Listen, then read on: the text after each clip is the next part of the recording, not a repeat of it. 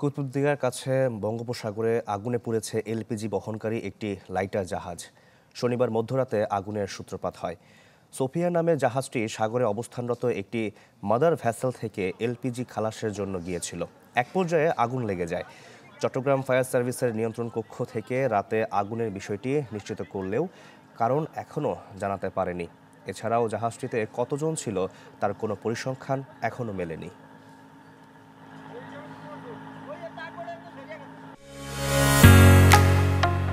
ঢালাইয়ের সেরা premier cement.